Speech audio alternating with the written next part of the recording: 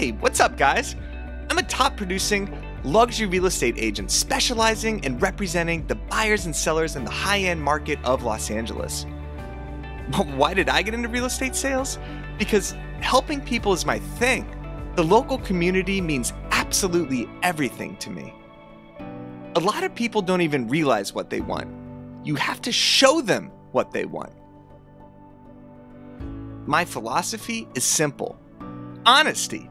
Don't tell people what they want to hear, tell them what they need to hear. His best quality has to be his professionalism. He really made me feel at ease with his impeccable communication skills. Sorry, I gotta take this. Wait, what? You accepted another offer? you, Jillian! My name is Ben Ackerman, and I look forward to doing business with you.